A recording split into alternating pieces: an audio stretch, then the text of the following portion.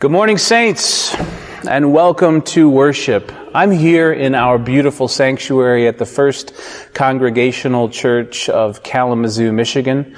We're a member church in the United Church of Christ, and every Sunday we affirm that no matter who you are, no matter where you are on life's journey, you are welcome here. Today I'm in this space that is empty as you can see, but it is filled with a spirit of joy.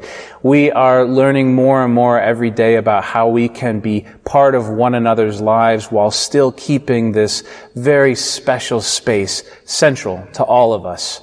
I'm excited that in the next few weeks we're going to begin talking about some small events that we're going to be able to hold together safely. But I want to assure you that at every step of the journey, we are not going to do anything that places the most vulnerable members of our congregation or our staff at risk. We believe that by doing this, we're fulfilling Christ's vision, that whatever we do to and for the least of these, we are doing for Him. So if you're new to us, uh, my name is Nathan Dannison. I'm one of the pastors of this church. I'll be giving the sermon today, but I hope that you can take a moment now just to catch your breath and allow the peace of God to be with you and to be in you and to be a part of this experience that we're about to have together. And so, regardless of where you are and what's going on, go ahead and say aloud, peace be with you.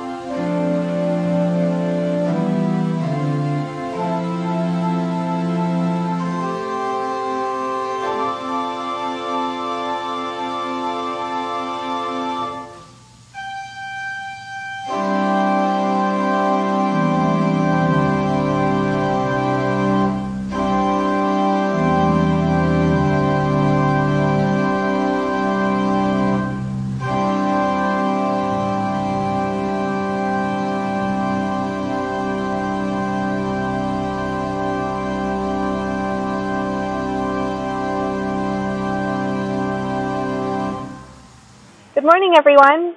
Welcome to Pentecost.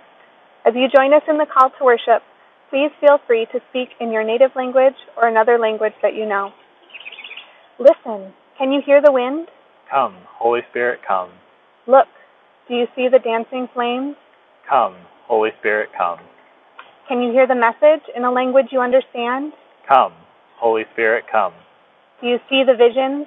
Can you dream the dreams? Come, Holy Spirit, come. Come, let Pentecost become real in our lives this morning. Come and worship our God who sends the Spirit to touch us and transform us into Pentecost people.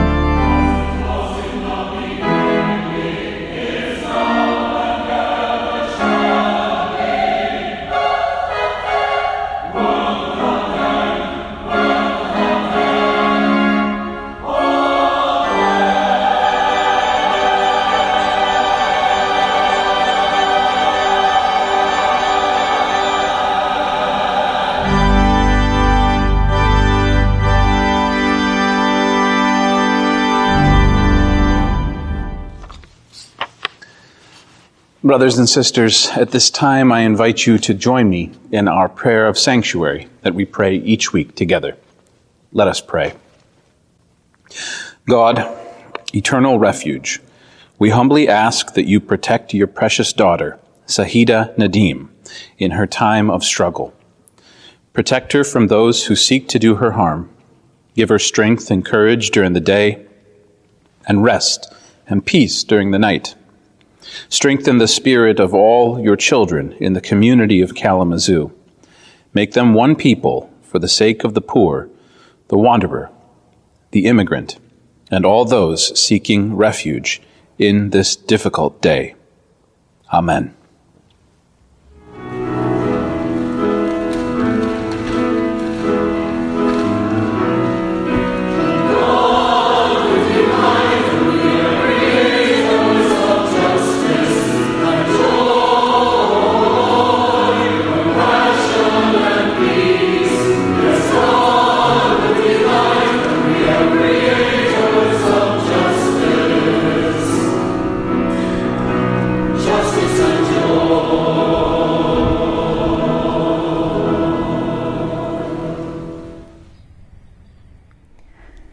Sunday. This is a message for the kids.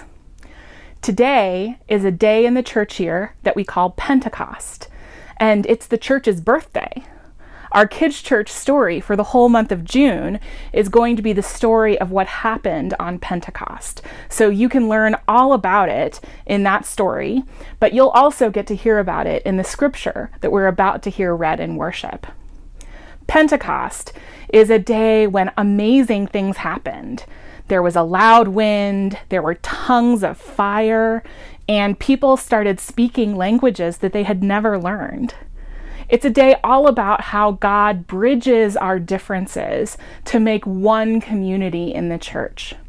So that's our blessing for today. You ready? Holy Spirit, speak to us and speak through us to make one community. Amen. Have a good week, everybody. I hope you're doing well.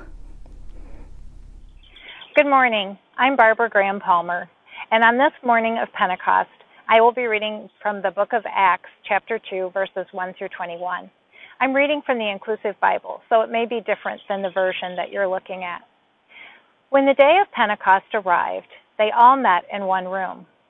Suddenly, they heard what sounded like a fierce, rushing wind from the heavens. The noise filled the entire house in which they were sitting. Something appeared to them that seemed like tongues of fire, separating and coming to rest on the head of each one. They were all filled with the Holy Spirit and began speaking in other languages as she enabled them. Now there were devout people living in Jerusalem from every nation under heaven. And at this sound they all assembled. But they were bewildered to hear their native tongues being spoken. They were amazed and astonished. Surely all of these people are speaking are Galileans. How does it happen that each of us hears these words in our native tongue? We are Parthians, Medes, Elamites, people from Mesopotamia, Judea, Cappadocia, Pontus, and Asia, and Phrygia, and Pamphylia, and Egypt and other parts of Libya around Cyrene, as well as visitors from Rome. All Jews are converts to Judaism, Cretans and Arabs too. We hear them preaching, each in their own language, about the marvels of God. All were amazed and disturbed, asking each other, What does this mean? But others mocked them and said, They've drunk too much new wine. Then Peter stood up with the eleven and addressed the crowd People of Judea and all who live in Jerusalem, listen to what I have to say. These people are not drunk as you think. It's only nine o'clock in the morning. No, it's what Joel the prophet spoke of. Listen. In the days to come, it is our God who speaks. I will pour out my spirit on all humankind. Your daughters and sons will prophesy. Your young people will see visions, and your elders will dream dreams. Even the most insignificant of my people I will pour out my spirit in these days, and they will prophesy. And I will display wonders in the heavens and signs on the earth. And the sun will be turned into darkness, and the moon will show deep red before the coming of the great and sublime day of our God. And all who call upon our, uh, the name of our God will be liberated. Hear what the Spirit of God is saying to the church. Thanks be to God. Kindred, please pray with me. Almighty God, Creator, Redeemer, open the doors of heaven and pour forth a furious wind. Silence us and teach us how to speak again. Amen. There was a holiday once this was an occasion when people who spoke different languages and they ate different kinds of food and followed different traditions gathered all together into one common place to celebrate this holiday. They ate with their families. They shared bread and wine with the neighbors who had traveled with them. They studied their neighbors, those who were different. Some of them looked on at their neighbors' little gatherings with curiosity, some with envy, and some with suspicion. But by needs, they gathered at this one place, regardless, because it was the only place that they had. Now, they'd learned over generations to share the space with people who were different from them. Maybe they kept their children close to them. Perhaps the more gentle hearted amongst them shared with these strange neighbors a little food or offered a mute smile and an open hand. But in any case, as they ate in each other's company, the cacophony in the room would grow. It was an unrefined and dissonant chorus of languages, but they'd grown used to it over the years. But gradually, as time passed and years passed, the divisions between the groups gathered for this holiday began to grow deeper. People who were suspicious of particular groups sat as far away from one another as they could. And those with money, well, they would use their money to, uh, to keep others away from their tables. Now, everyone could see that this wasn't going to work. Eventually, the room would fill, and eventually something would snap. And so those with the means to do so continued to push the poorest of the strangers into smaller and smaller corners. And then something did happen. Something awful. Something that everyone could see coming, but that no one had the courage to address from their seats and positions of power. Despite the fact that this place was a shared space, despite the fact that their holiday was the same holiday, and despite the fact that they all knew better, violence erupted somewhere in that room. And the noise seemed to come from above and from everywhere all at once and fires broke out. And yet, suddenly, the anger in the stranger's face became comprehensible. It was the same anger, the same fear, and the same frustration. And someone shouted out, why can't we fix this broken system? And why? The question of why in so many different languages became the overwhelming cry of the suffering. And in what seemed like an instant, they all began to understand. And they began to comprehend that the suffering they were enduring was both self-inflicted and was a result of those who had power refusing to take responsibility for the welfare of those who did not have power. And it was the Holy Spirit that began to shatter that very specific illusion. And this was the illusion, the cobwebs, the haze that that the Spirit began to clear away from their eyes. The illusion was that they were Parthians and Elamites, that they were Romans, that they were Asians and Arabs, that they were these things first. That illusion was suddenly shattered and they knew instead, they knew deep in their bodies and with holy comprehension that they were human beings first and that they were children of God first. And suddenly, in that place, in that moment, someone began to laugh and another. And tears began to roll down their faces as this epiphany spread from person to person to person. The riot changed from violence to laughter. How blind they'd been. How foolish and selfish, pointlessly selfish. My God, look at all of the food. Look at all of the space and the joy that they could have. Gathered together, not under the illusion that they were Americans and Mexicans and Chinese and Nigerian. No, but that they were something simpler, human creatures children of God, living icons of a living God. And there was then finally a sweet, sweet spirit in that place. And they knew that it was the Spirit of God. And their joy from then spilled out and over into the streets. But then, out there, in the streets, there were others. They mocked them.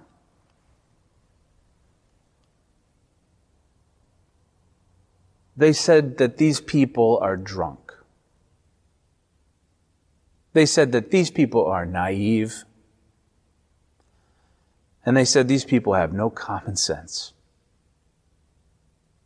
And one of them, one of that crowd of dancing, celebrating, beautiful human beings. A man named Peter stood up and he addressed all of the cynics and the mockers. And he said, No. What you're seeing is the world to come. Uh, it's God's vision for the world. And we are now the world builders. We are the image bearers and we are the liberators. And we will win. And now, after 2,000 years have passed, it still feels as though we've yet to come close, even, to winning. And today, those mockers and cynics in the street use different words. They use words like human nature and cultural depravity. And they use words like self discipline, lack of responsibility. They use words like contributors and liabilities. You see, some of them love the distance between us, these barriers between us that are enforced by wealth and violence in service to the lie. And as we have now this week surpassed the unimaginable horror of 100,000 dead Americans from the coronavirus, I see these same people saying of the dead, well, they were predominantly elderly and sick anyway. They weren't contributing to the economy. And I saw White House advisor Kevin Hassett referring to the people who grow our food and build our cities as human capital stock. You see, these barriers they've put up, the ones that they've invented, they're important to them. Because for some of them, these barriers, these made up identities, allow them to do something very, very profitable. It allows them to turn a human being into a commodity. The United States of America, its formidable wealth and infrastructure, was built by slaves. This is an indisputable fact. And slavery has taken on many different forms throughout our history, but one of the most pernicious was the chattel slavery of the American South. Wealthy white land owners had discovered a way to force some Americans to work without pay. And not only work without pay, but also contribute without pay of their minds, of everything that they had. They found a way to extract from these people wisdom and industry and art and music and poetry and childcare and every other thing which people need to survive. They'd found a way to get all of these things for free. And they did it by arbitrarily declaring that some Americans were not human beings.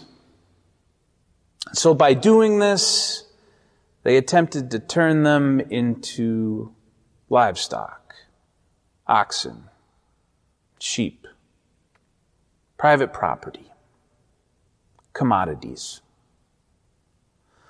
But the problem was that they knew, whether explicitly or implicitly, that this was a lie, that race was something that they had invented to justify this system a powerful lie upon which their massive, unearned fortunes depended. And they knew that it was not in the nature of a human being to be made into property, into chattel. And so they created, to defend this lie, one of the earliest systems of policing in American history, the slave patrols. The owners of these enslaved people lived in constant fear that they would revolt and take what they had built, that which was by all rights theirs. The homes they had built for free, the crops they had harvested without pay, and that they would take back their children that had been stolen from them. Hundreds of years of white people looting the storehouses of black Americans, they would demand what was theirs. And so the slave patrols were created by the government with exactly one purpose to control by any means necessary the freedom of these enslaved people.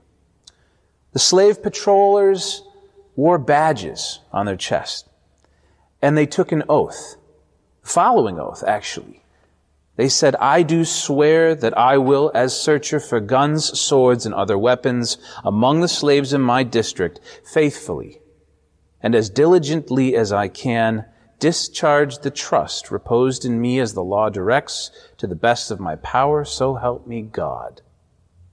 That was the slave patroller's oath in North Carolina, 1828. These were not private mercenaries. Rather, they were agents of the state.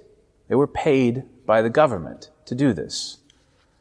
And a huge part of their job, really, what occupied most of their time, was stopping and questioning black Americans about where they were going, where they were coming from, checking their papers, and if any suspicion arose, meting out physical punishment.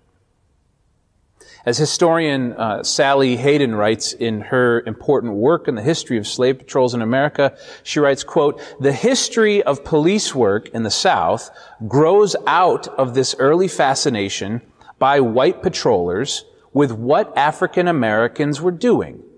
Most law enforcement was, by definition, white patrolmen watching, catching, or beating black slaves. End quote. And so what of the North then? What of the North and their police history? Indeed, there was a history there, and there were police, and they served a very similar function. In the early 1800s, centralized municipal police forces were created in northern cities. But they didn't serve to prevent crime or even solve crimes. They were there to control the people of the city. These first northern police forces were overwhelmingly white male, and more focused on responding to disorder than crime. As Eastern Kentucky University criminologist Gary Potter explains, officers were expected to control a dangerous underclass that included African Americans, immigrants, and the poor. And through the early 20th century, there were very few standards for hiring or training any of these officers. So we find that the history of those mockers, those standard bearers for division, included using the power of state violence to oppress, brutalize, and murder the poorest people, the very working people who built this nation. And last week, a very wealthy white person who was breaking the law in Central Park in New York, when she was called out by another New Yorker who happened to be a black man, she did what the wealthy white have done for centuries. She called for a slave patrol. And she knew exactly what she was doing when she did it. Do you remember what I said about those wealthy gathered in that room at the time of Pentecost? What lengths they would go to to maintain their position in the hierarchy of wealth that they had created. Now you and I know, of course, Christian, that in the kingdom of God, this hierarchy doesn't exist. Jesus declares it so when he explains why it is so incredibly difficult for the wealthy to enter into the kingdom of God. Because they're afraid of what life would look like if they lost even a fraction of what they had. Now, the truly tragic thing is that for those of us who have felt the wind of Pentecost, who have learned how to speak in tongues, for those of us who have experienced the world that Peter is describing, we know that it is a better world than any world we could ever hope to purchase with earthly wealth. It is, in fact, a tragedy that Amy Cooper could have chosen to meet a brother in Christ that day chosen to do so, to meet Christian Cooper, the man that she tried to murder. And in him, I think that she would have met an amazing human being. From everything that I've read, Christian Cooper is an astoundingly brilliant person. But instead, Amy chose to call the slave patrol to discipline a child of God who she saw as less than human.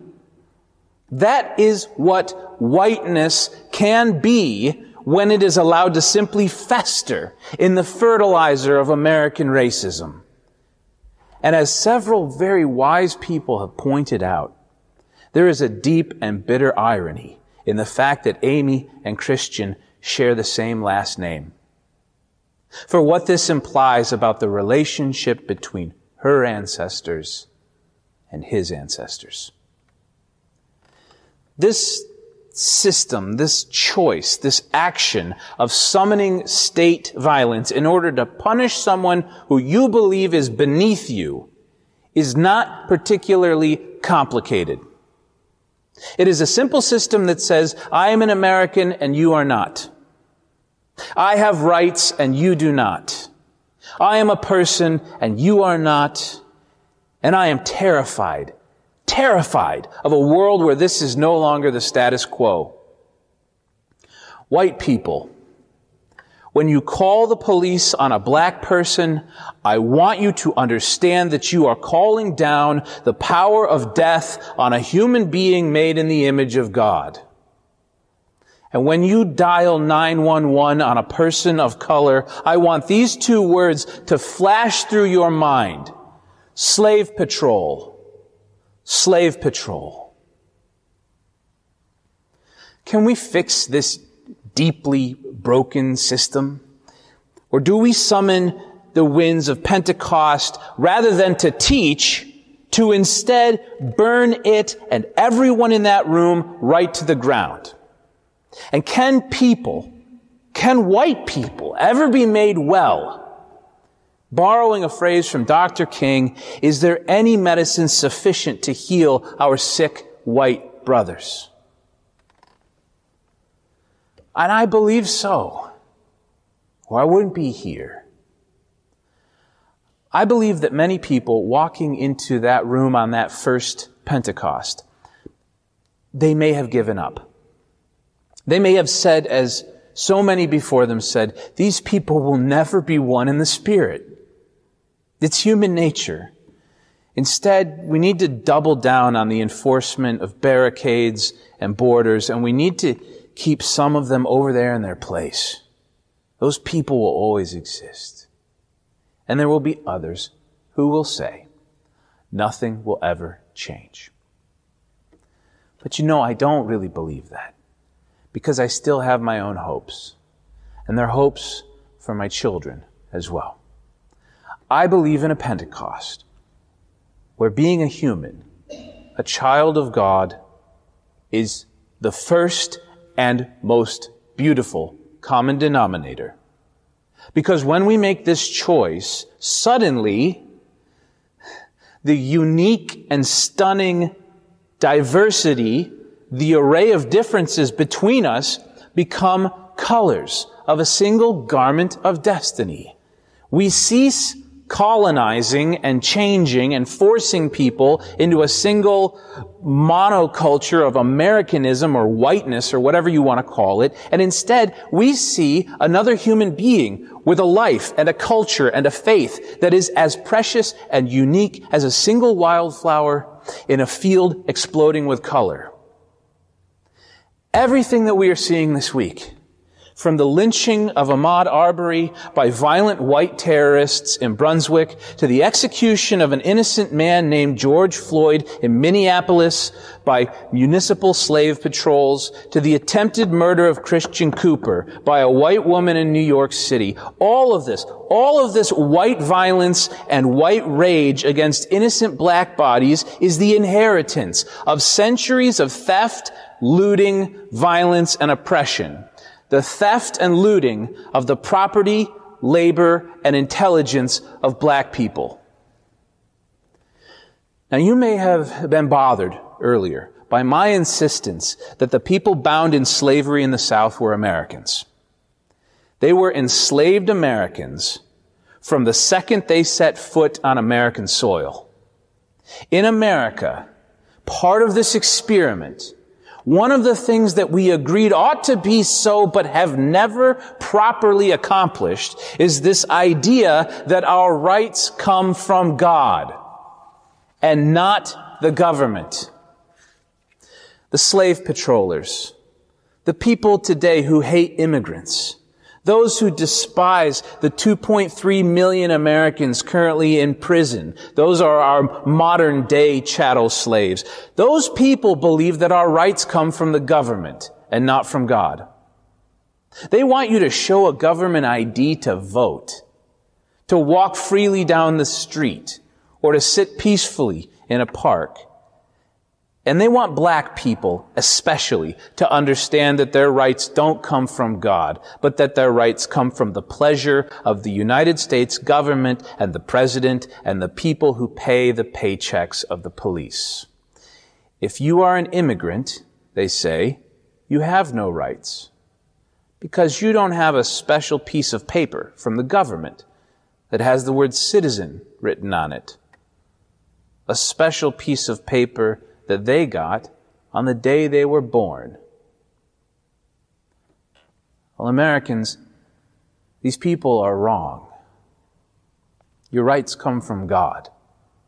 And every single person who has been enslaved in this country, either as the chattel of wealthy white landowners or as the wards of the currently privately owned prison systems or in custody by DHS or ICE, every single American who has been detained and searched without reason by the police, every single person who has been assaulted by the police or executed in the streets without a fair trial, these people have had their God-given rights violated.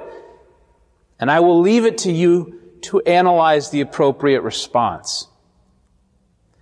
Kindred, this is Pentecost. And I didn't ask you to listen to these words to hurt you or to make you feel bad about yourself, or most especially not to make you feel ashamed. Those things, those feelings of shame and, and, and hurt harden the heart. They lead to defensiveness. Okay? And defensiveness is poison. We know that, right? Rather, instead, I just want to give us an opportunity to choose again in the midst of this awfulness that we're experiencing, to choose to be the people of Pentecost. A people who, when they see division, instead sow in love and generosity and mercy. A people who, when they see the powerful using violence and wealth to keep those people in their place, reject that message and loudly and publicly decry a crooked system, a racist system, and then teach others this true history, the true history of America. And most of all, if I could do anything for you, it would be to open your eyes to the absolutely breathtaking beauty of the individual story of every other human being you encounter. Not to make you colorblind. That's, colorblindness is just another white word for refusing to see a human being. But rather the opposite. To open your mind and your heart to the powerful stories, the victories, the tragedies, the, the, the, the wonderful journeys of every other human being that you're going to meet on your very brief trip through this life. That, I think, would be the moment of Pentecost, and I think that that would be a lovely outcome for a human life to have had that experience. You can choose, you know, and you can take sides. Jesus took sides. I do all the time. I'm, I'm, and I'm no less a patriot for criticizing my nation. In fact, oftentimes, the patriotic thing you can do, the most patriotic thing you can do, is criticize your beloved country. And I'm not kind of a radical for telling the truth about the sickness of racism in America. If you can't see it, you're simply being willfully blind to what's going on. I'm simply a man who wants to be in the room where the people are laughing and dancing and sharing and singing beautiful songs in languages that I don't speak, surrounded not by people who I think of as strangers or immigrants, but by human beings. That sounds very nice to me.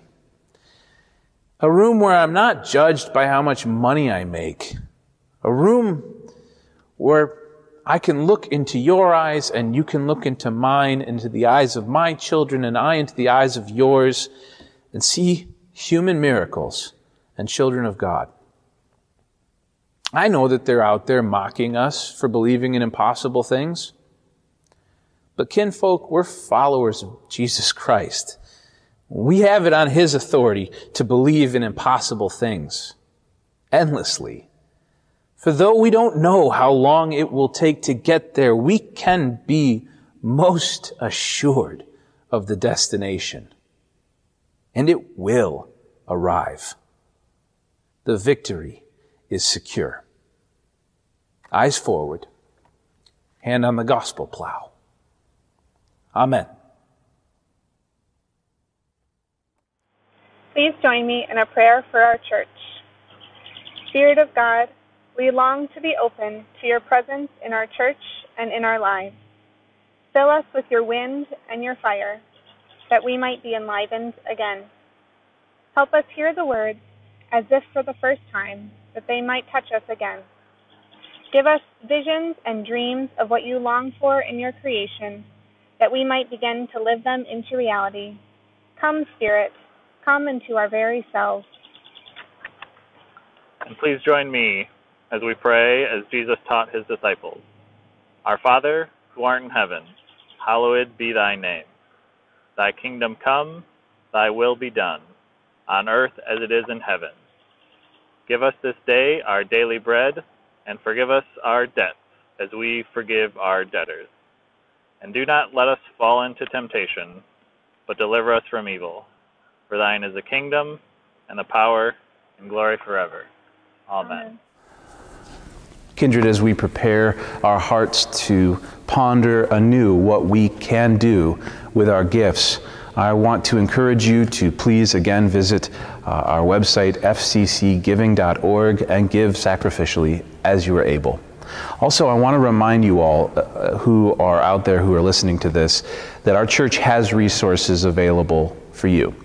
Privately, discreetly, you can reach out to me or anyone else. But if you're in trouble, please let somebody know. Don't suffer in silence. Our church's Deacons Fund exists to make small disasters disappear. That's what we try to do as a family of faith. So if you or a loved one or someone you know is struggling right now, go ahead and reach out to me and put me in touch with them, and we will do as much as we can uh, in total confidence, privately and quietly. Uh, but if we can't be here for one another in times like this, then what are we here for? Friends, consider making a gift to the church this week uh, to support her ministries that are very much alive and at work here in Kalamazoo. The offering is what we can give when we cannot be there in person.